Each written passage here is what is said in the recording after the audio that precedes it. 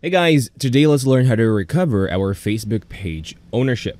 So in order for us to recover our Facebook page ownership, what we need to go ahead and do first is to go on over first on the specific Facebook page that you own. So I want you to go ahead and do a quick search of your preferred Facebook page. And once you're already there, let's tap on that.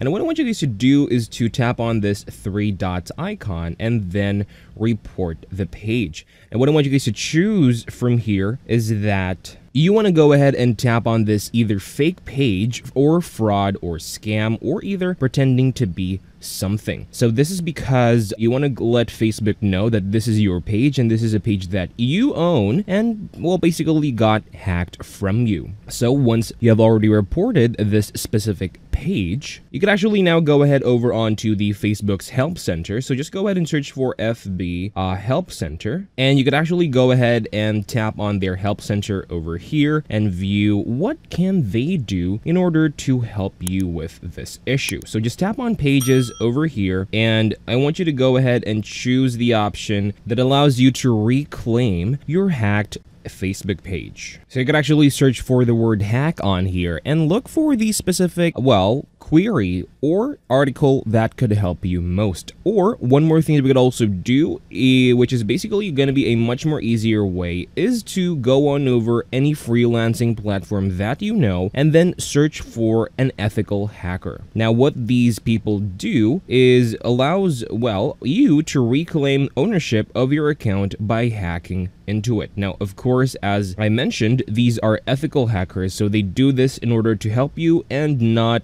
do stuff or anything illegal. So just go ahead and just search for ethical hacking, and you can see you do have account from Instagram Recovery. You also have Facebook, and of course, let's go ahead and um, narrow down this search by adding in Facebook page. And by doing that, of course, you will see uh, different kinds of search results, and will also give you, of course, the help that you need. So just go ahead and avail their services so that you can easily reclaim your account. And that is all for this video. Thank you guys for watching. Please like and subscribe and take care.